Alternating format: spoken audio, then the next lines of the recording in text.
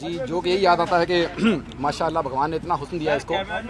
Camera look भाई उसको हुस्न को ना देख। तो स्पेशली इन्होंने गाना बनाया है मेरे ऊपर आप इनके मुझसे सुनेंगे तो आपको बहुत अच्छा लगेगा। गा दीजिए आप। प्लीज़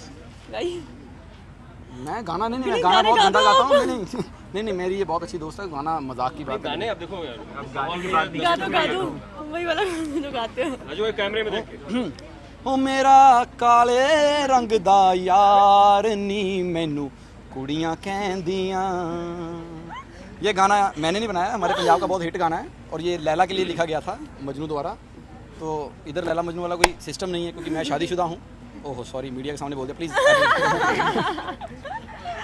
और ये शादीशुदा होने वाली है ये ज़रूर रखना और मुझे अच्छा लग रहा है बिकॉज़ मेरे ख्याल से जब लास्ट टाइम मैं कॉमेडी सर्कस में आई थी तो थर्ड एपिसोड में यहाँ से बाहर चली गई थी। तो सोचो, बहुत कुछ सोचो, था सीखने सोचो। के लिए। सोचो क्या टैलेंट है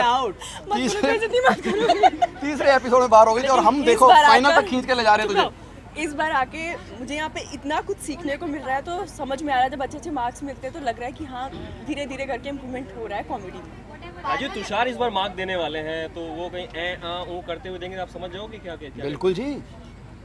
शेट्टी साहब ऐसे मार्क्स दे देते हैं। बिना बोले हाँ तूने किया।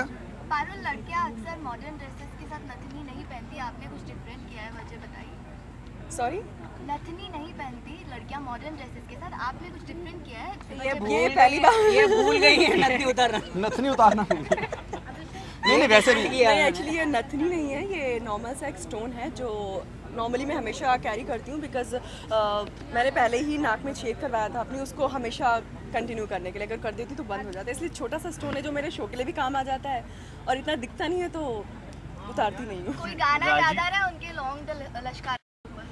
नहीं जी नहीं मेरा इश्क नहीं है इससे कोई ऐसा। कोई पंजाबी गाना?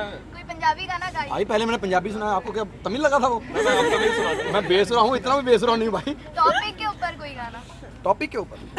टॉपिक के ऊपर तो यही है कि हाँ। हाँ गाते गाते हाँ। कॉमेडी को ट्रेजेडी कर दे ट्रेजेडी को कॉमेडी कॉमेडी को ट्रेजेडी कर दे ट्रेजेडी को कॉमेडी एक जगह जब जमा हो दोनों। राजीव। परेश और पारुल।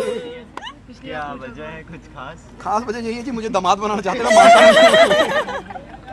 मुझे उन्होंने बहू की बात की है बेटी की हाँ, बात नहीं की। नहीं नहीं वही बात है मुझे टीवी वाले मतलब अपना खास दामाद बनाना चाहते हैं बस बन नहीं पा रहा हूँ। लेकिन मैं खुश हूँ कि मैं घर जमाई की तरह रहता हूँ यहाँ पर तो मुझे अच्छा लगता है। लेकिन ये बात सच्ची है कि जितनी भी हाईएस्ट टी हैं जब से मैंने ये अपना काम शुरू किया है मुझे मिल रही हैं जैसे काम्या से शुरू हुआ फिर रश्मि देसाई देन पूजा गौर देन पारुल चौहान और पिछले ये जो चार साल हैं इनसे बड़ी टी वाली लड़कियाँ नहीं आई हैं। ये मेरी खुशकिस्मती है। और इनकी बदकिस्मती है कि इनकी टीआरपी गिराने के लिए मुझे दिया जाता है।